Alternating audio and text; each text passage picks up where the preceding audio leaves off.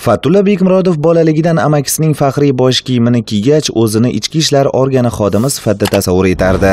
yoshligimizda shu amakim kelib uyimizga mana shu formalarda kelib kelganlarida shu sohani tanlayman deb shu 5-6 yoshlarimda shu kasb tanlashga ahd qilganman 14 yildan beri yo'l harakat xavfsizligi boshqarmasida xizmat qilib kelayotgan inspektor ba'zan issiq choy ichib oila davrasida qolishni istaydi. Chunki u ertalab ishga ketayotganda farzandlari hali uxlayotgan, ishdan qaytganda esa kechki uyquga ketgan bo'lishadi.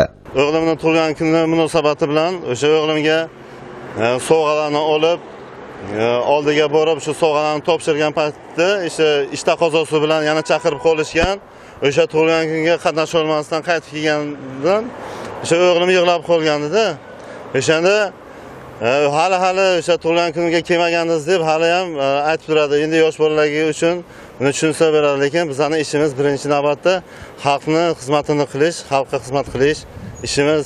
Tinchligi birinchi navbatda Shunga qaramasdan qahramonimiz farzandlar tarbiyasi uchun vaqt ajratishga harakat qiladi. qaysi kasb tanlaysan deganimda "Siz- sizni kasbingizni tanlayman deb e, har doim aytadi o'sha bosh kiyimimni har doim kiyib yuriydi e, qiziqadi o'g'lim ham shu sohaga Kecha kunduz yo'llarda harakat xavfsizligini ta'minlash uchun shay turgan Fatulla Bekmurodov o'z kasbidan faxrlanadi.